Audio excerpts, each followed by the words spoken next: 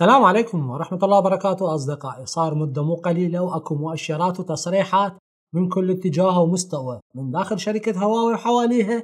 وتأكد هذه التصريحات كلها شيء واحد وواحد بس هو أنه عودة هواوي لصدارة الأسواق العالمية قريبة والعودة قريبة حيل. وطبعا تشوف العالم كله مجدوه إذا ما أقول خايف. في صديقي خايف لأن يسأل سؤال واحد بدون جواب. وشلون تقدر هواوي ترجع؟ للسيطرة على مبيعات الهواتف في العالم والحصار الأمريكي حواليها حديدي. ويوم عن يوم دا يشدد. بركان الغضب وراس الحرب بهجمة هواوي المرتدة. بعالم التليفونات هو أكيد جهاز واحد ماكو غيره. وهو ال Mate 60 Pro اللي راح يصدمك ويصدم العالم بحركاته. والأهم هي أنه شلون بدأت تتكشف وياه. وأكيد Tech Time موجودة وجاهزة تخلي التفاصيل كلها يمك اربط حزامك واستعد للإقلاع الطيارة راح تطير. أنا وأنت راح نروح للصين هسه وتحديدا لمقر أبحاث هواوي بمقرها الاشهر بالعالم كله بمدينة شانزان. قبل ما أبدي بالتسريبات الخطيرة راح أبدي وياك بكم رقم واقعي حققته هواوي بال 2023 نعطيك مؤشر إنه هواوي بدأت بهجومها وناوية تسترجع موقعها فعليا. السوق الصيني اصدقائي للأجهزة المطوية يعتبر الأكبر بالعالم وهواوي مسيطره عليه بالنص الأول من هذه السنة. أوبو أخذت المركز الأول بس الثاني والثالث والرابع والخامس كلها لهواوي الهجمة الثانية هو صعود مبيعات هواوي بالهواتف بنسبة 76% عكس باقي السوق كله اللي نزلت مبيعاته بشكل مخيف بكل مكان بالعالم. هذا الصعود بالمبيعات اجى وياه أعلى تقييم بالتاريخ لهواوي كشركة وصعدت للمرتبة التاسعة بين أقوى الشركات الخمسمية كقيمة سوقية بالعالم. زين شنو اللي رجع هواوي لهيج قفزات هسه راح أقول لك. أكو مصادر قوية أكدت انه هواوي ولأول مرة بكل العالم بال Mate 60 Pro راح تنطيك نظامين مو واحد للاتصال بشبكات المحمول.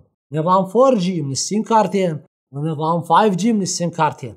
بفضل تقنية طورتها هواوي وهي شركة SMIC الصينية. حتى يصنعون مودم لأجهزة المحمول تقنية ال 5G وبدون ما تحتاج هواوي لأي تقنية من خارج الصين. وهذا وحده هو اكبر ضربة للحصار الامريكي المفروض على هواوي. هواوي بدأت تدخل هاي التقنية بالهواتف الجديدة بالتصنيع. يعني ال Mate X3 المطوي وال P60 Pro اللي انطلقوا كأجهزة 4G أول إطلاقهم. هسه بدأت تنزل منهم نسخ 4G و5G ومن ال SIM كارتين ويا هيك حل فأكبر مشاكل ونواقص أجهزة هواوي. آخر ثلاث سنوات هي تقنية ال 5 G انحلت وبتقنيات صينية 100% وإذا ما تعرف فاذكرك فإنه هواوي تعتبر من أفضل شركات العالم مودماتها ومعداتها للشبكات والإنترنت. وتسيطر وحدها هواوي على 25% من شبكات الإنترنت بالعالم كله رغم العقوبات لليوم.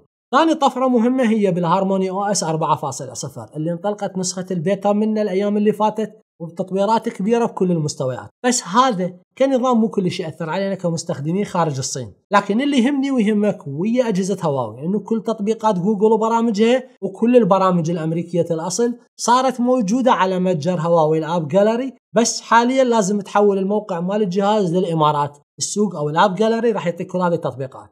قريبا راح تتوفر هذه الحركة كل متاجر هواوي بدول العالم. ثالث طفرة هي مواصفات حديدية بال Mate 60 Pro راح نشوفها. شاشة عملاقة شبه flat لأول مرة نشوفها بهاتف Mate من سبع سنوات من هواوي. نوعها OLED من شركة BOE بتردد هو الأعلى بتليفون flagship من هواوي هو 144 هرتز ودقة الواحد ونص K. وإضاءة راح تصعد لل 2000 شمعة. الشاشة راح تدعم HDR 10 Plus وتعرض مليار تدرج لوني. والأهم إنه راح تجي بقطع بشكل كبسولة ينطيك أول كبسولة ديناميكية من هواوي بتاريخها. راح تكون تفاعلية ويا التطبيقات مثل ما سوت ابل بال iPhone 14 Pro وال Dynamic Island مالته. همات راح تبقي هواوي على طريقتها للحماية أو الحماية البايومتريه المزدوجة. وهي البصمة ثلاثية الأبعاد للوجه مثل الآيفون ويا بصمة ضوئية تحت الشاشة.